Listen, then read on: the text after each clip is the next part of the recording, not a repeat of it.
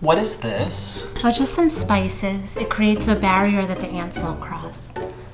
And you did this. Everywhere. Keep the spices for cooking. At home remedies for getting rid of ants can make a mess and aren't long term solutions to the problem. Hi. Modern Pest offers modern solutions that are safe and effective.